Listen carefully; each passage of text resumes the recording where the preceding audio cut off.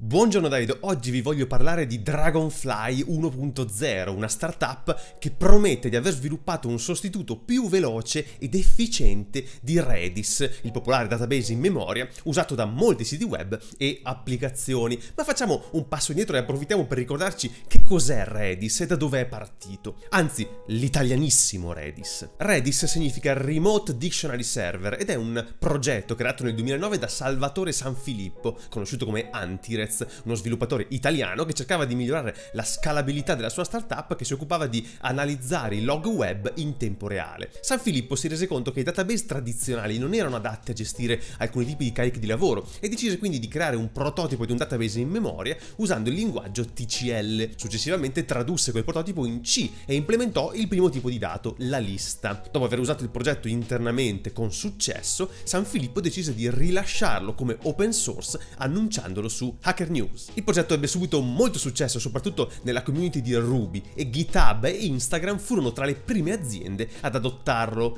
Redis è un database che memorizza i dati in RAM invece che su disco, permettendo così di accedere ai dati molto più rapidamente e supporta diversi tipi di dati come le stringhe, le liste, gli insiemi e gli hash e offre anche funzionalità avanzate come la scadenza del dato, le transazioni e la replica. Redis è usato oggi da moltissime grandi web company come Twitter, GitHub appunto, oppure Netflix per migliorare le prestazioni delle app.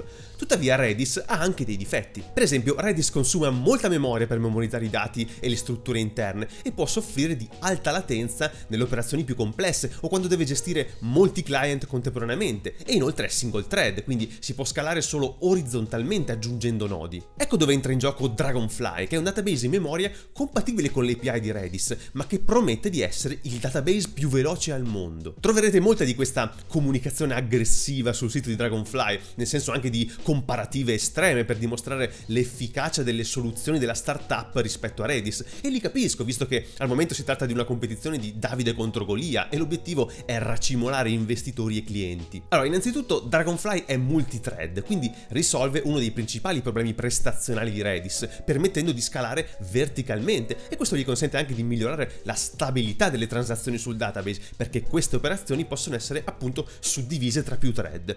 Dragonfly utilizza una struttura innovativa chiamata Dash Table, che è un'evoluzione di un algoritmo del 1979 chiamato Extensible Hashing, per minimizzare l'overhead di memoria e la latenza delle operazioni. Non posso stare qui a spiegare come funzionano le Dash Table e vi lascio a questo proposito un link alla documentazione di Dragonfly per approfondire, ma sappiate che la principale differenza con le Hash Table sta nei puntatori, che in queste ultime sono linked list, mentre nelle Dash Table sono segments, cioè in pratica delle mini hash table.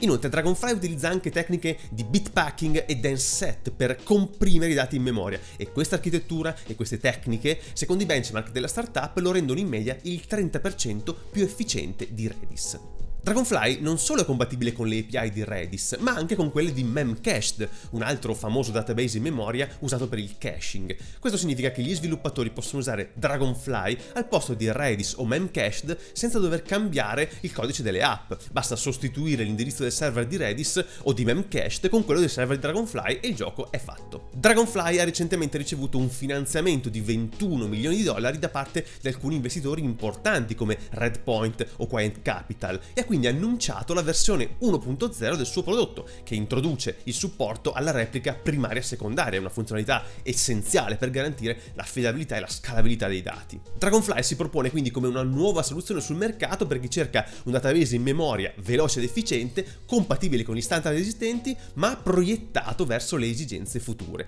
Vi lascio naturalmente il link al sito ufficiale e qualche link alla news del round di finanziamento. E questo era tutto per oggi, grazie per aver ascoltato questo podcastissimo, fatemi sapere cosa ne pensate di Dragonfly o le vostre horror stories con Redis. Peraltro, se volete approfondire un po' il personaggio di Salvatore Sanfilippo, vi consiglio di cercare la sua intervista sul podcast di Gitbar dell'amico Mauro. Peraltro, siccome mi ha confessato che ascolta questo buongiornissimo la sera, allora a te e tutti quelli che stanno ascoltando dopo il calar del sole, buonanotte e ci vediamo alla prossima.